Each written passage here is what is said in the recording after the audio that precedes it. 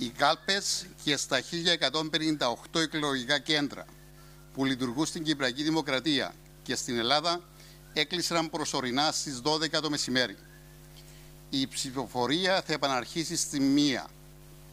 Η προσέλευση των ψηφοφόρων συνεχίστηκε με τάξη και ηρεμία χωρίς οποιαδήποτε προβλήματα. Σύμφωνα με τα διαθέσιμα στοιχεία, μέχρι τις 12 το μεσημέρι ψήφισε το 26% περίπου των εγγεγραμμένων ψηφοφόρων, ενώ το παγκύπριο ποσοστό κατά την αντίστοιχη ώρα στις προηγούμενες βουλευτικές εκλογές του 2016 ανερχόταν στο 30 περίπου της 100. Ψήφισαν επίσης 73 εκλογείς από τους 91 που είναι εγγεγραμμένοι στον ειδικό εκλογικό κατάλογο με τα επιβεβαιωμένα κρούσματα του κορονοϊού COVID-19. Τα ποσοστά ψηφισάντων και τα αντίστοιχα ποσοστά των προηγούμενων εκλογικών αναμετρήσεων αναεκλογική περιφέρεια έχουν ως ακολούθως. Λευκοσία 23,4 έναντι 31 το 2016. Λεμεσός 25,1 έναντι 30% το 2016. Αμόχωστος 31,7 έναντι 28. Λάρνακα 27,9 έναντι 27 το 16. Πάφος 32,7 έναντι 32% το 2016 και όσον αφορά το εξωτερικό 18,2% έναντι 15% το 2016.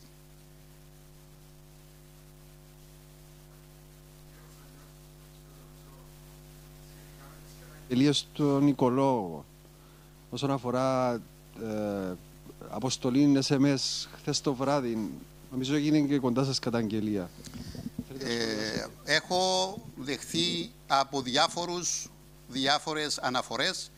Έχω πει ότι οποιοδήποτε έχει στοιχεία τα οποία αφορούν επηρεασμό ψηφοφόρων θα πρέπει να απευθυνθεί στην αστυνομία να κάνει συγκεκριμένη καταγγελία ούτως ώστε με να υπάρξει το κατάλληλο μαρτυρικό υλικό για να υπάρξει υπόθεση στο δικαστήριο.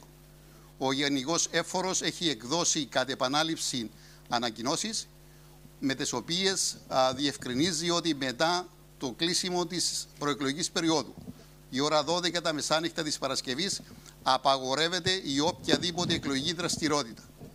Έχει επανεκδώσει νέα ανακοίνωση, έχει εκδώσει επιστολή προς τους εκλογικούς συνδυασμούς και ταυτόχρονα έχει ενημερώσει σχετικά των αρχηγών της αστυνομίας ούτως ώστε να επιληφθεί οποιοδήποτε περιπτώσεων υπάρξουν. Θέλω να διευκρινίσω, επειδή αναφέρεται συγκεκριμένο εκλογικό συνδυασμό, ανάλογες αναφορές έχουν γίνει από πάρα πολλούς άλλους εκλογικούς συνδυασμούς. Επομένως, είναι θέματα τα οποία αφορούν μεμονωμένες περιπτώσεις, είναι θέματα τα οποία έχει ενημερωθεί επίσης Επίτροπος Προσωπικών Δεδομένων και θα τύχουν διερεύνησης από τις αρμόδιες αρχές της Κυπριακής Δημοκρατίας. Επαναλα...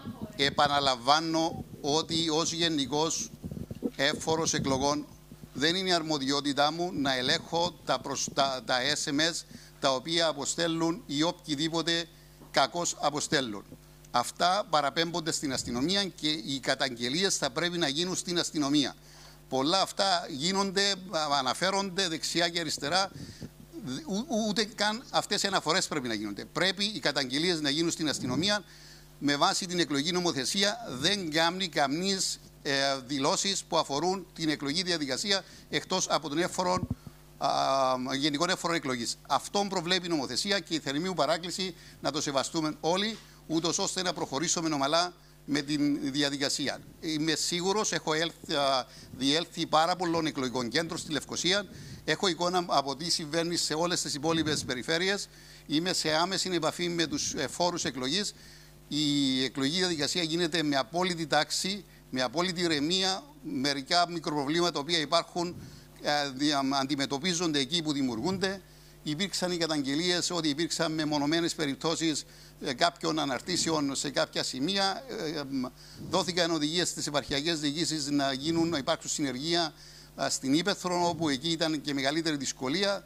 Νομίζω όπου υπήρχε πρόβλημα έχει αποκατασταθεί, έχει εφαρμοστεί η νομοθεσία στο βαθμό φυσικά που μπορεί και ο Γενικός Έφορος με τους μηχανισμούς που έχει να, να επέβει και να, να, να πάρει οποιασδήποτε ενέργειες ε, χρειάζονται.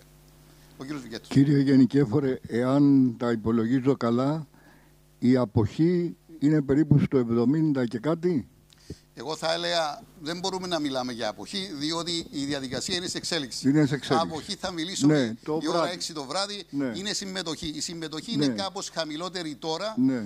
Το, η ώρα 10 ήταν περίπου στο ίδιο ποσοστό Ναι. με την προηγούμενη εκλογική διαδικασία. Έχω ενημερωθεί ότι η ώρα 12 υπήρξε έτσι μια πιο έντονη παρουσία των ψηφοφόρων στα εκλογικά κέντρα.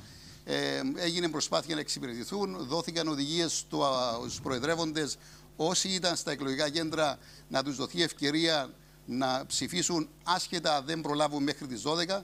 Γι' αυτό μπορεί και κάποιοι από αυτούς τους αριθμούς που σας φέρνω Ναι. να μην είναι πλήρως επικυρωπημένοι. Α, α, α, αλλά το τι θα είναι η, τελικά η συμμετοχή νομίζω θα πρέπει να περιμένουμε να το δούμε τα απογεύματα. Εκτιμάται ότι θα έχουμε κάποια αύξηση στην ροή των ψηφοφόρων από τις μία και μετά. Είμαι αναρμόδιος να απαντήσω στο Μάλιστα, συγκεκριμένο εντάξει. θέμα. Ευελπιστώ ότι θα υπάρξει αύξηση. Πάντως και εγώ Επαναλαμβάνω, διαπίστωσα ότι υπήρχε προσέλευση σε κάποιο εκλογικό κέντρο που πήγα γύρω στις 11.30. Ναι, ναι, οι πληροφορίες που είχα από τους εφόρους είναι ότι μετά τις ε, 12.30 υπήρχε μια πολύ πιο αυξημένη ροή της προσέλευσης των ο, εκλογέων. Δόθηκαν οδηγίες να γίνει κάθε δυνατή προσπάθεια να εξυπηρετηθούν και με αυτήν την ευκαιρία α, καλώ ξανά το εκλογικό σώμα να προσέλθει, να ασκήσει το εκλογικό του δικαίωμα ούτως ώστε ακριβώς να διαμορφώσει το αποτέλεσμα το οποίο θα έχουμε μετά το κλείσιμο της κάλπης. Μάλιστα. Σε σχέση με τις διαφημίσεις ε, στα μέσα κοινωνικής δικτύωσης, ε, η ομάδα του Γραφείου Τύπου και Πληροφοριών έχει εντοπίσει ε, παραβιάσεις από συγκεκριμένα επιτελεία ή υποψηφίους; Ε, όπως έχω αναφέρει σε προηγούμενη α, συνάντηση μας, ε, δόθηκαν οδηγίες στο Γραφείο Τύπου και Πληροφοριών να παρακολουθεί το θέμα. Καταγράφονται, γίνονται ενέργειες, ενημερώνουμε κατά διαστήματα. Είναι μεμονωμένες αυτές οι περιπτώσεις, πραγματικά μεμονωμένες. Όμως ε, εξακολουθούν να υπάρχουν μικροπεριπτώσεις. Καταλαβαίνω ότι ακόμα και να δοθούν οδηγίες για να κατέβουν κάποιες αναρτήσεις χρειάζεται κάποιο χρονικό διάστημα. Αυ- Έτσι δουλεύει η τεχνολογία, ούτως ώστε να, να φύγουν από όλες τις εμφανίσεις που υπάρχουν. Αλλά νομίζω και ό,τι υπάρχει είναι πάρα πολύ μεμονωμένο. Η δυνατότητα παρέμβασης καταλαβαίνετε στο, στα α, α, δίκτυα κοινωνικής δικτύωσης και στα, ε, στις πλατφόρμες δεν είναι ιδιαίτερα α, μεγάλη. Υπάρχουν δυσκολίες με την έννοια ότι πολλά από αυτά α, λειτουργούν από το εξωτερικό με άλλα δεδομένα, με άλλες νομοθετικές ρυθμίσεις. Γνωρίζουμε, κύριε Κωνσταντίνου, εάν σε κάποιον από τα μικρότερα εκλογικά κέντρα έχει ολοκληρωθεί ή βαίνει προς ολοκλήρωση η ε, όλη η διαδικασία. Θέλω να πω, υπάρχουν κέντρα με ελάχιστους ψηφοφόρους. Ε, γνωρίζουμε κάτι γι' αυτά. Εάν έχουν προσελθεί όλοι ή σχεδόν όλοι κλπ. Αν θα Καταλαβαίνετε, υπάρξει- καταλαβαίνετε, για να ξέρουμε σημαίνει ότι θα υπάρχει 0% αποχή. Πρακτικά αυτό δεν μπορεί να συμβεί, διότι δεν μπορούμε να ξέρουμε και να μην προσέλθουν άλλοι να ψηφίσουν στα πολύ μικρά κέντρα. Δεν μπορούμε να το ξέρουμε, διότι διαφορετικά θα έπρεπε να εξαντληθεί ο κατάλογος. Ε, Αυτό δεν έχει ρωτώ, ιδιαίτερη ναι. σημασία. Το- Η μεγάλη εικόνα είναι ότι πρέπει οι ψηφοφόροι μας, ε, οι συμπολίτες μας να ξέρουν ότι έχουν την ευκαιρία να ασκήσουν το εκλογικό τους δικαίωμα και μετά τις μία που θα ανοίξουν ξανά οι κάλπες μέχρι τις 6 το απόγευμα. Θερμή παράκληση να προσέλθουν και αν είναι δυνατόν να αξιοποιηθεί ο χρόνος σε όλη, όλη την περίοδο που έχουμε μπροστά μας, να μην μείνουν όλοι την τελευταία στιγμή, την τελευταία ώρα, διότι εκεί θα δημιουργηθεί όντως λόγω των πρωτοκόλων μια δυσκολία στην εξυπηρέτηση των συμπολιτών μας. Και κάτι άλλο, αν επιτρέπετε, επειδή υπάρχει πάρα πολλοί κόσμος ο οποίος εργάζεται και Κυριακές, υπάρχει σχετική νομοθεσία η οποία προβλέπει ότι ε, θα πρέπει οι εργοδότες να παρέχουν τις σχετικές διευκολύνσεις. Το δικαίωμα της ψήφου είναι α, απεριόριστο.